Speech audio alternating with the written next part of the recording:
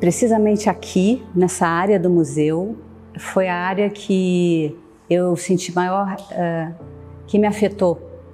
E, e eu fiquei com esse registro. Quando eu vinha dois anos atrás, eu não sabia que eu vinha expor. Eu fiz, eu era só uma visitante. E tinha aqui a obra do Alberto Carneiro, que é um artista também que eu me sinto muito honrada de estar dialogando. E, e portanto, essa área, quando você vê um mosteiro do século XI, uma área arqueológica de um tempo imemorial e um corredor que te liga para o agora, é, é, uma experiência de um futuro ancestral, né? Aqui tem um atravessamento de tempo e esse atravessamento realmente ficou em mim. Então, quando veio o convite no final do ano passado e eu sabia que eu não ia poder desenvolver a exposição em Portugal, trabalhar daqui, é, foi a partir dessa memória, né, desse, dessa sensação de atravessamento de tempo que eu comecei a trabalhar. A exposição vai se chamar Flecha, e flecha por conta de toda essa interação de tempos, né? Temos a, a, a, chegada dos portugueses ao Brasil, que de certa maneira não foi fácil, né?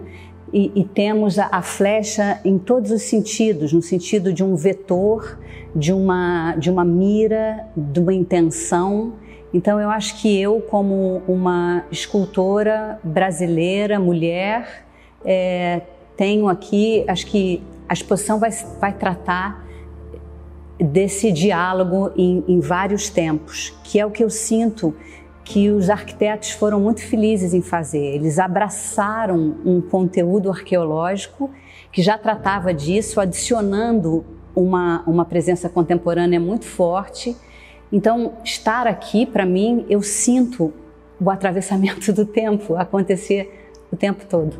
Eu acho que na medida que eu é, começo um trabalho com a água, não é? E, e, a água vai trazendo as questões ecológicas, porque hoje a água é um dos elementos que mais fala da crise climática, não é? E, e isso foi contaminando o meu trabalho e, e eu me dei conta de que as árvores são os seres que que mais contribuem para a permanência da água, tanto no solo quanto na atmosfera, né? são literalmente bombas d'água e a Amazônia é prova disso. Então eu começo, o trabalho vai para as árvores e depois para as plantas, né? E, e, as plantas que vão estar presentes também bastante aqui na, na exposição é, são esses seres poli, poliforma, poliaroma, poli uh, propósitos e, e, e propriedades e, e, isso me fascinou. Então eu, eu vim de dois, duas exposições uh, individuais o ano passado, onde eu explorei bastante isso e a exposição de Santo Tirso é uma exposição que está caminhando dentro do que eu chamo de sinfonia vegetal, que é uma experiência de colaboração com vários saberes e várias propriedades e cores e movimento, como se, como na natureza, né? Na natureza tudo está em colaboração, é abundante e é um, excessivo de certa maneira, soma-se, né? Então uma coisa se soma com outra e dá uma terceira, que dá uma quarta e tem essa pluralidade, essa abundância. Aqui é, vai estar presente uma sensibilidade feminina a respeito da, do cuidado, da ancestralidade. Né? As mulheres é, partilham desde os tempos imemoriais essa, essa capacidade, essa delicadeza de, de cuidar, cuidar da terra, cuidar da família, cuidar da saúde, cuidar dos velhos, das crianças. E, e isso está presente ainda no mundo.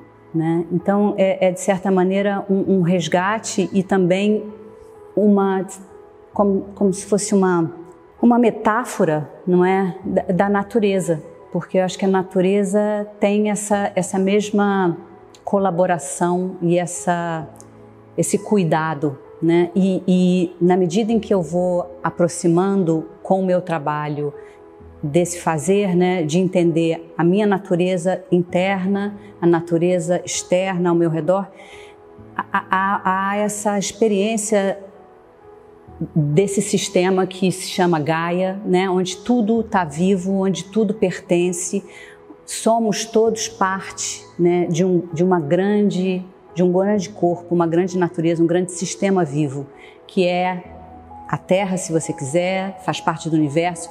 Enfim, é essa questão também é, oriental, né, do, do o mínimo está no máximo o máximo está no mínimo, né? Eu acho que quando eu encontrei as plantas e em 2019 eu fiz uma, uma exposição que eu chamo de campo de força, é, é, veio essa presença muito forte de todo o lugar onde eu havia colhido as plantas e, e, e eu já estava trabalhando com mulheres herveiras naquela época, com, estudando sobre as ervas. Então havia o conhecimento feminino, havia toda a questão uh, dos ciclos lunares e de como isso afetava a, a, a forma como as plantas eram usadas, quando, como eh, prepará-las.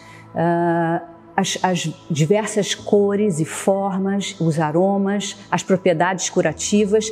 Então, eu fui aos poucos entrando nessa abundância que eu chamo, nessa, nessa questão que é, é da natureza. A vida quer viver e ela se multiplica o tempo inteiro. O tempo inteiro isso acontece. Eu acho que toda arte é, é sensível e nessa questão, quer dizer, fala de uma sensibilidade pessoal, não é?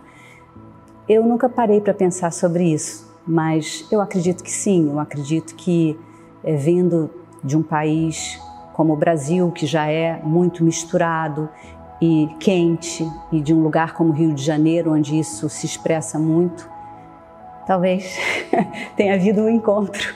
É, meu pai era um homem do mar e eu cresci com o mar e, e o oceano, né? Como corpo, até hoje é, também tenho essa memória de entrar no mar e me sentir absolutamente abraçada por aquele organismo, né? É, é, é, vivo e é diferente quando você nada no mar e nada na piscina, né? A água do mar é viva e você sente isso. Então, eu acho que essa experiência do oceano é, afetou meu trabalho e também as montanhas. A presença, a proximidade das montanhas na cidade do Rio de Janeiro é algo que impacta. Eu, eu não sei se eu me preocupo muito com a forma que as pessoas uh, visitaram, experimentaram. É claro que quando a gente faz arte, a gente quer que as pessoas possam aproveitá-la da melhor forma possível, né?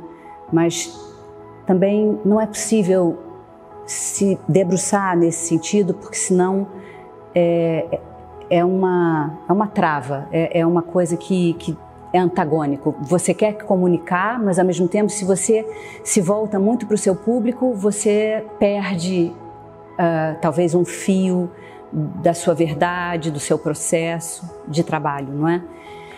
é? O que eu acho que fica no fim de uma exposição como essa é, é, é mesmo a experiência e a vivência de todo um processo, né? Porque essa exposição, ela nasce de um ano anterior de trabalho, onde muitas questões foram abertas e, e, e talvez inacabadas. Então, por exemplo, eu estou trazendo para o subsolo uma instalação grande de um processo de pensamento que começou nessas exposições, mas que eu não tinha me dado conta naquele momento. Então é sempre um passo que você dá. Eu acho que é como viver, né? A gente vai amadurecendo e, e quando chega num estágio, você vislumbra outro, né? Ou um caminhante que vai subindo uma montanha e vai vendo os vários né, níveis de uma, de uma vista, de uma cidade. Eu acho que a experiência vai ampliando a sua capacidade de ver, a sua capacidade de criar, de imaginar além. É isso que eu espero, e é claro que eu espero que as pessoas também apreciem, né? Eu ando em busca desse, de, de proporcionar o que eu chamo aqui de sinfonia vegetal. E sinfonia vegetal é, é uma experiência que eu gostaria de oferecer às pessoas, onde elas pudessem estar imersas num, numa obra que tivesse aroma, que tivesse movimento, que tivesse cor e uma combinação de formas ousada, arriscada. É, eu ando em busca disso. Eu não sei se eu vou ter chegado aqui, talvez não, mas eu estou feliz porque eu sinto que eu estou nesse caminho, né? Talvez um dia eu possa dizer, essa é a minha sinfonia vegetal. Acho que ainda não, mas estamos indo. Eu fico muito feliz que essa artista, mulher, né, islandesa, tenha trazido algo que é tão contundente para ela, mas para todos nós, né? E essa pergunta que ela deixa, e agora, é algo que me toca muito, não é? Que eu me pergunto também. Então, a, a, a, a colocação da crise climática instalada aqui no MIEC é muito cara para mim, porque eu concordo com a Ruri de que nós estamos, de fato, frente a uma luta das maiores, não é? Só que a natureza é, é algo é, difícil, porque é, é uma luta silenciosa. Não está tanto mais silenciosa, porque quando vemos essas catástrofes climáticas, eu entendo que as pessoas começam a perceber que esse preço já está sendo cobrado e vai ser bem caro, não é? No entanto, é, parece que não é perceptível no dia a dia da maioria das pessoas. Então é uma, é uma crise silenciosa e a natureza entra também como agente, agenciando diversas outras crises ou, ou problemas de invisibilidade, né? que são problemas sociais, problemas é, é, de, de, etnias, de gênero. Né? É, eu acho que vem no bojo da crise climática a, a, a demanda de uma série de invisibilidades que temos hoje na nossa sociedade e que são afins.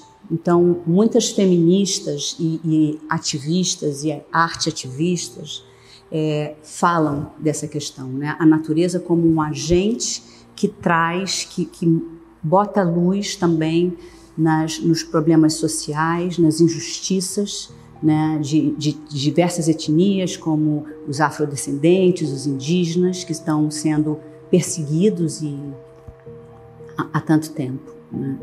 A modernidade, a pós-modernidade, né, que ela, ela insere no nosso, na sociedade essa visão linear do tempo, né, especialmente de, um, de uma expectativa de progresso, né, que você começa de uma forma e vai seguindo.